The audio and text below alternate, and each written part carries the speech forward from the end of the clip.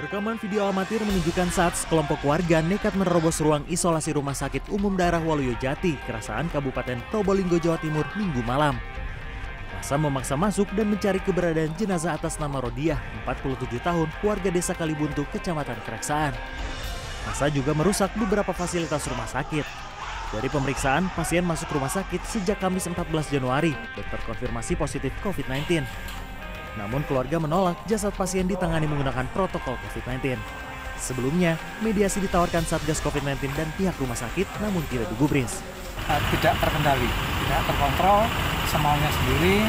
Kayak seperti contoh yang kasus tadi malam itu harusnya dengan protokol kesehatan pemulasaran ternyata masyarakat tidak menerima dengan itu sehingga uh, jenazah pasien itu diambil paksa.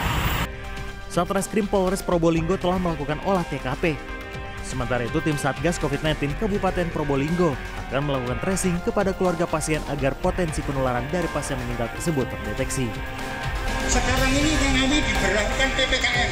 Di Ngawi, Jawa Timur, sebuah pesta pernikahan terpaksa dibubarkan polisi. Pembubaran dilakukan karena acara pernikahan tersebut dianggap menimbulkan kerumunan.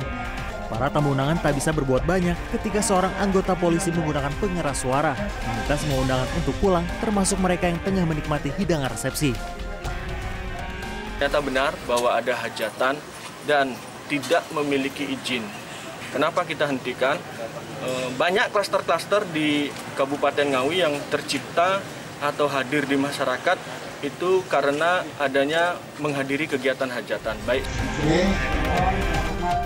Dari pengakuan pemilik rumah, pesta tersebut tidak memiliki izin dari Satgas Penanganan COVID-19, baik di tingkat kecamatan maupun kabupaten. Tim Liputan CNN Indonesia.